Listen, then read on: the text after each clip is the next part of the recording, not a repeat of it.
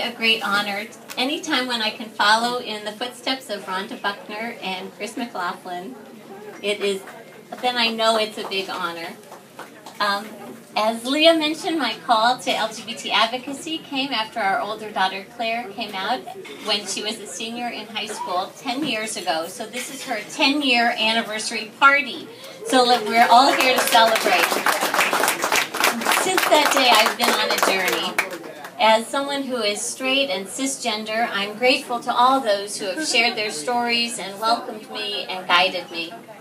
This journey has been about partnership it was Gerda and Alan Keysweater and Bill Briggs from Metro DC PFLAG who pushed us out of the nest and invited us to walk in our first Pride Parade. And in fact, Gerda and Bill Briggs are holding down the fort right now because this very moment is the PFLAG, Arlington PFLAG Community Group meeting. I have the night off tonight. Rhonda and I co-created the Equality Committee at the Unitarian Universalist Church of Arlington with other members and friends and honorary Unitarians like Chris and the support of the clergy. Over the years, we've hosted LGBT youth gatherings, provided dinners for LGBTQ youth, LGBT asylum seekers. We held a New Orleans style jazz funeral for Don't Ask, Don't Tell brought a photo exhibit about LGBT families to the Arlington Central Library and faith communities throughout Northern Virginia.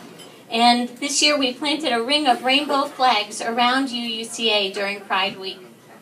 I'm grateful for the vision and leadership of those who founded People of Faith for Equality in Virginia, as well as the leadership and vision of Paula Prettyman and Kelly Schlageter, Melissa Capers, and Rhonda for starting our Northern Virginia network.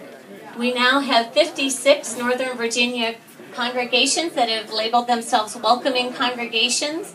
And last January, we sent a letter with 100 clergy signatures to the General Assembly affirming LGBT lives. It is also, of course, a great honor to serve on the board of Equality Virginia, our statewide organization working for LGBT advocacy. It takes all of us, and I am delighted to speak at any moment, any time about the work of Equality Virginia.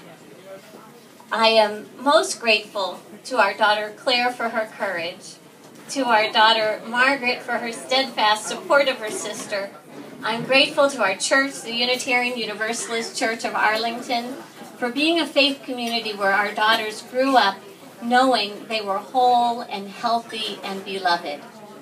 I'm most grateful to my husband Bill for being my partner in parenting and in life.